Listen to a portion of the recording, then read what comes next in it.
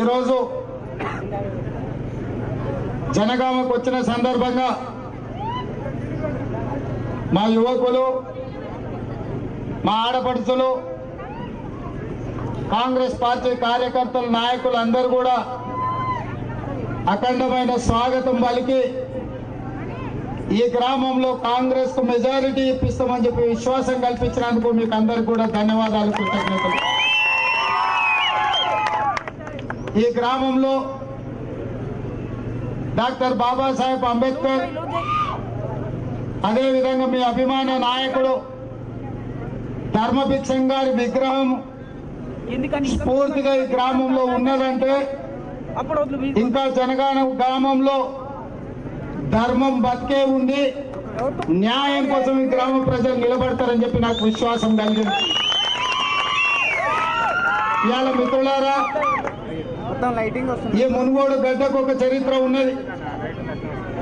ఈ మునుగోడు గడ్డ మీద నుంచి రెండు వందల ఇరవై సంవత్సరాలు ఏకదాటిగా ఏలిన ఏడు తరాల నిజాము నవాబులను పైజామలు ఊడగొట్టి దిగంతాలకు తరిమిన చరిత్ర ఈ జనగామ ఈ మునుగోడు ప్రాంత ప్రజలకు ఉన్నది. సాయుధ రైతాంగ పోరాటం ద్వారా పేద ప్రజల మీద దాడులు చేసి ఆడబిడ్డలను అమానుషంగా బతుకమ్మలు ఆడించి వాళ్ళ జీవితాలతో చెలగాటం ఆడిన పాలకులను దిగంతాలకు తరిమి ఈ ప్రాంతం పౌరుషానికి మారు పేరు అని చెప్పి నిలబెట్టిన గడ్డ. ఈ గడ్డ మీద పన్నెండు సార్లు ఎన్నికలు జరిగితే ఆరు సార్లు కాంగ్రెస్ పార్టీ గెలిచింది. ఐదు సార్లు కమ్యూనిస్టు సోదరులు గెలిచిండ్రు. ఒక్కసారి కారు గుర్తోడు గెలిచిండు. ఈ పన్నెండు సార్ల ఏ రోజు కూడా కమలం పువ్వు గడ్డ మీద డిపాజిట్ రాలేదన్న సంగతి ఈ సందర్భంగా గుర్తు అట్లాంటి గడ్డ మీద ఏ ధైర్యంతో కమలం పువ్వుల్లో పువ్వు తీసుకొచ్చి మునుగోడు నియోజకవర్గ ప్రజల చెవుల్లో పెట్టాలనుకుంటున్నారో నాకైతే అర్థం కాలే. ఇక వాళ్ళకి డిపాజిట్ వచ్చేది లేదు. ఆ పార్టీ గెలిచేది లేదు సచ్చేది లేదు. ఇక దాని గురించి మనం ముచ్చట పెట్టి కూడా ఈ రాత్రి కూడా మన సమయం వృధా అని చెప్పి నేను ఈ సందర్భంగా తెలియజేస్తున్నా. అదేవిధంగా ఇవాళ నేను సూటిగా ఇక్కడి నుంచి కొంతమంది నాయకులను నేను అడగదలుచుకున్నా. ఈ దేశానికి నరేంద్ర మోడీ రెండు సార్లు ప్రధానమంత్రి అయిండు. బీజేపీ అభ్యర్థి ఒకసారి ఎంపీ అయింది ఒకసారి ఎమ్మెల్సీ అయింది ఇంకోసారి ఎమ్మెల్యే అయింది. ఇవాళ మళ్ళొక్కసారి నాకు ఓటు వేయండి అని వచ్చింది. ఆ అభ్యర్థి ఎవరా అంటే సార పాతదే కానీ సీస మాత్రం కొత్తది దాని మీద స్టిక్కర్ కొత్తది అతికించుకొని ఆ సార రుచేందో వాసనేందో రంగేందో ఈడ ప్రతి పిల్లగాడిని అడిగితే చెప్తారు. నేను కొత్తగా చెప్పాల్సిన పని లేదు. ఇక ఆయన కథ కట్లుంటే ఇంకొక ఆయన బయలుదేరాడు గత ముక్క ఆయన. నా సంగతి అంత పొడిగి ఇంత పొడిగా అన్నాడు ఎంత పొడిగైనా నిన్ను రెండు సార్లు ముఖ్యమంత్రి చేసిర్రు. ఆ మూడు అడుగుల జగదీశ్వర్ రెడ్డిని మంత్రిని చేసిర్రు. ఈ కూసుకుంట్ల పాస్వాన్లు ఆయన కూడా ఒకసారి ఎమ్మెల్యేని చేసిండు. ఏమేమి వచ్చిందో మనం చూసినాం. ఇల్లు అలుకుతామన్నారు ఆకలికి సాంపిన చల్తామన్నారు ముగ్గేస్తామన్నారు అర్థమోలు చేస్తామన్నారు. ఎనిమిదేళ్ళు అయింది. ఇవాళ మా ఆడపడుచులు ఉంది ఇక్కడ. ఆనాడు ఇచ్చిన ఇందిరమ్మే ఉన్నాయి ఇండ్లు ఉన్నాయి తప్ప ఇవాళ ఒక్క పేదోళ్ళకన్నా డబల్ బెడ్రూమ్ ఇల్లు వచ్చిందా అని చెప్పి నేను వేదిక మీద నుంచి ఇక్కడ ఉన్న మా ఆడబిడ్డలు అడుగుతున్నా. ఆయన చెప్పిండు అల్లుడు వస్తే ఆడమంటాడు బిడ్డ ఉంటే ఆడుంటది కొడుకుంటే ఆడుంటాడు కోడి ఉంటే ఉంటది మేకపిల్లు ఉంటే ఇరగట్టాలని నేను అడుగుతున్న బామోజులో రెండేసి బోర్ల పక్కల వండుకున్న కేసీఆర్ మునుగోడులో ఏ ఊరికైనా డబల్ బెడ్రూమ్ ఇల్లు ఇచ్చినవా? దళితులకు మూడెకరాల భూమి ఇస్తాను. దళితులకు మూడెకరాలు ఇవ్వలే కానీ గిరిజనుల కాయల కాంగ్రెస్ పార్టీ ఇచ్చిన వేలాది ఎకరాల భూముల్ని ధరణి తెచ్చి వాళ్ళ కొంపలు ముంచి వాళ్ళ భూమి గుంజుకుందామని చెప్పి ఇలా కుట్ర చేస్తున్నావు. రాచకొండ కొండల్లో ఆనాడు ఇందిరమ్మ ఇచ్చిన వేలాది ఎకరాల గిరిజనుల భూములు ఇవాళ కొల్లగొట్టాలని చూస్తున్నావు. రాచకొండ గుట్టల్లోనే నిన్ను పాతరేసే రోజు వచ్చిందని చెప్పి నేను కేసీఆర్కు చెప్పదలుచుకున్నా. ఇవాళ ఈ గడ్డ మీద నుంచి నేను అడుగుతున్నా. ఈ గ్రామాలలో బెన్షన్ భగీరథ నీళ్ళు వచ్చినాయా లేకపోతే నువ్వు డిండి ప్రాజెక్టు కట్టి ప్రతి ఎకరాకు నీళ్ళు ఇస్తాను కదా. ఇవాళ ఈ ప్రాంతానికి నీళ్ళు సాగునీరు ఇయ్యలేదు తాగునీరు ఇయ్యలేదు. కిష్టరాయనపల్లి అదే విధంగా శివన్నగూడెం ప్రాజెక్టులో వేలాది వందలాది ఎకరాలు ఈ ప్రాంత భూములు ముంచి అన్యాయంగా అప్పనంగా గుంజుకుంటున్నావు. మల్లన్న సాగర్లో ఓ ధరిస్తే శివన్నగూడెంలో ఇంకో ధరిస్తా అంటున్నావు. మేమంతా తీసిపోయిన వాళ్ళమా మా భూముల విలువ మాకు తెలియదా హైదరాబాద్కు కూతవేటు దూరంలో ఉన్న ఈ భూములు ఇవాళ కోట్ల రూపాయల ధరలు వలుకుతుంటే గిరిజనుల కాయల ఇందిరమ్మ ఇచ్చిన ఇండ్లు వేలాది. ఇది ఈ ఎకరాల భూములు ఇవాళ గుంజుకొని వాళ్ళని పేదోళ్ళని చేస్తున్నావు. ఇది న్యాయమా అని చెప్పి రాష్ట్ర ముఖ్యమంత్రి నేను అడుగుతున్నా. ఇవాళ ఈ ప్రాంతం నుంచి హైదరాబాద్ ఆటోలు దాక్కుని చాలా మంది బతుకుతారు. ఎల్బీ నగర్ ఏరియాలో నేను మొన్న ఎంపీగా గెలిచినంటే ఈ మునుగోడు బిడ్డలు ఆశీర్వదించి గుండెలు బట్టి చూసుకున్నారు కాబట్టి ఇవాళ ఎంపీ ఇక్కడ వచ్చి నిలబడ్డ. కాంగ్రెస్ పార్టీ అధ్యక్షునై మీ ముందల నిలబడి స్రవంతిని గెలిపించమని అడుగుతున్నా. ఇవాళ అట్లాంటి పరిస్థితుల్లో మీరు ఆలోచన చేయండి. నిన్ను మన కమ్యూనిస్టు సోదరులకు నేను విజ్ఞప్తి చేస్తున్నా. మన సర్వేలో మాట్లాడేటప్పుడు నేను ఒక మాట చెప్పిన.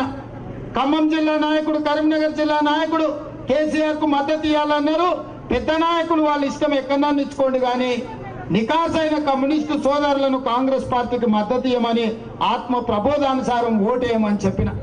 ఇదే కాకుండా దేవరకొండలో రెండు వేల పద్నాలుగులో పొత్తులో భాగంగా పొత్తులో ధర్మంగా కమ్యూనిస్టు సిపిఐ రవీంద్ర నాయకుడు భుజాల మీద మోచి కాంగ్రెస్ పార్టీ గెలిపిస్తే కమ్యూనిస్టు ఎమ్మెల్యేను కొనుగోలు చేసి కమ్యూనిస్టులను లేకుండా సమాధి కేసీఆర్ చేసింది. ఊర్లలో గద్దెలు కూలాలే అసలు కమ్యూనిస్టులు ఉండకూడదని మీ మీద కక్ష కట్టింది కేసీఆర్. గా అంశాన్ని నేను మొన్న సర్వేలో గుర్తు గుర్తు చేసిన. ఇవన్నీ గుర్తు తెచ్చుకోండి. ఓటేసే ముందర ఆలోచన చేయండి.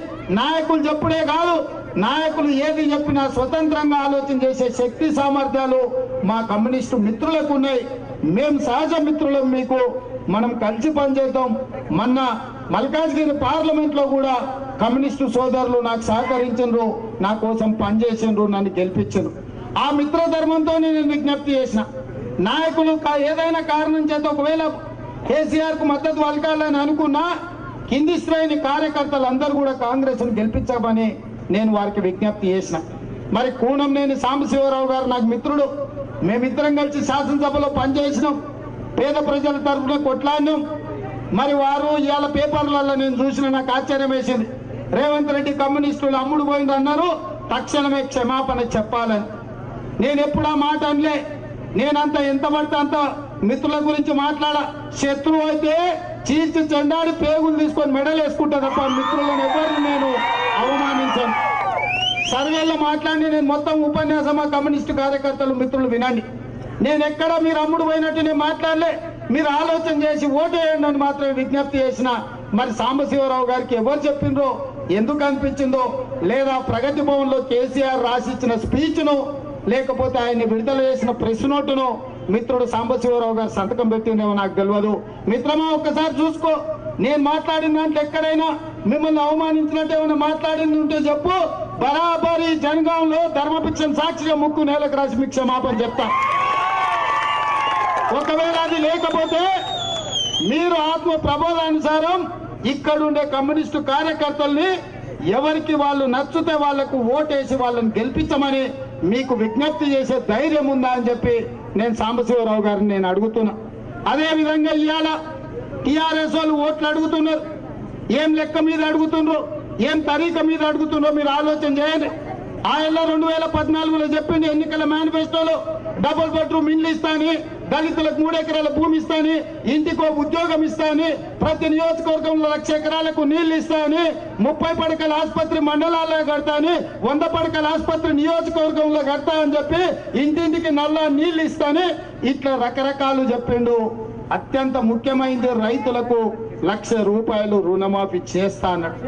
రెండు వేల పద్నాలుగే కాదు రెండు వేల పద్దెనిమిదిలో కూడా రైతులకు లక్ష రూపాయల రుణమాఫీ చేస్తా అంటే ఈ దరిద్రుడు మాటలు నమ్మి బ్యాంకుకు సొమ్ము చెల్లించకపోవడం వల్ల మిత్తితోని మొత్తం రెండు లక్షలైంది లక్ష రూపాయల రుణం ఇవాళ ఏడికి పోయి మిత్తి కట్టాలను అస్సలు కట్టాలను అర్థం కాని పరిస్థితి.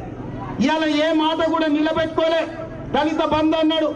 ఆ ఊర్లో కనుక ఈ ఊర్లో కనుక కుక్కకు పొక్కేసినట్టు ఆడాడ టిఆర్ఎస్ కార్యకర్తలకే దళిత బంధు ఇచ్చిండు. ఇవాళ గిరిజన బంద్ ఇస్తాను మళ్ళీ కొత్త నాటకానికి తెరలేపండి ఎవరు నమ్ముతాడు?